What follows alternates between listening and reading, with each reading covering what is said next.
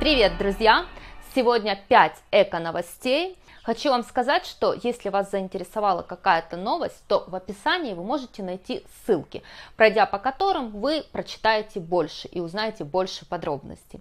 Кроме того, у нас есть телеграм-канал, я приглашаю вас подписаться, и тогда вы сможете читать эко-новости каждый день.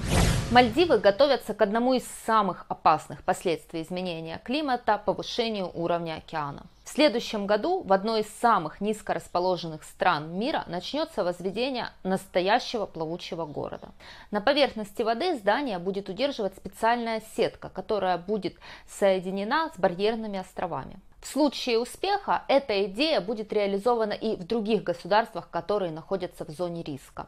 По данным ООН, около 40% мирового населения на данный момент проживает в пределах 100-километровой зоны от побережья. Киев обошел Пекин и вошел в десятку городов с самым загрязненным воздухом в мире.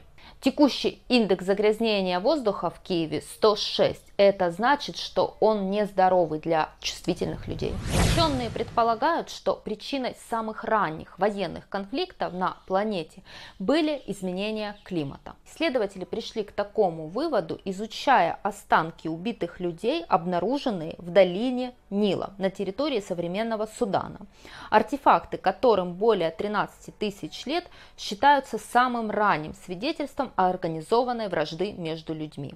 Останки датируются концом позднего плейстоцина. Как раз в это время на планете происходили кардинальные климатические изменения.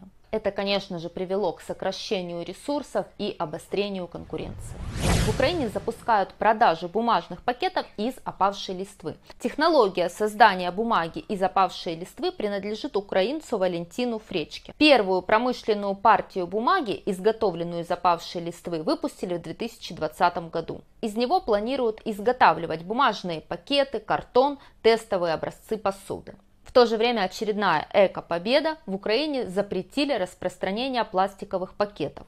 На заседании 1 июня Верховная Рада приняла во втором чтении и в целом законопроект, запрещающий распространение пластиковых пакетов, кроме биоразлагаемых. То есть в магазинах и в заведениях питания с 2022 года будет запрещено распространять пластиковые пакеты. У компании есть 9 месяцев на адаптацию. Сингапурская компания производит молоко из клеток. Чтобы улучшить экологические показатели, лаборатория производит настоящее молоко из клеток желез млекопитающих. Спасибо за просмотр, ставьте лайк этому видео, пока!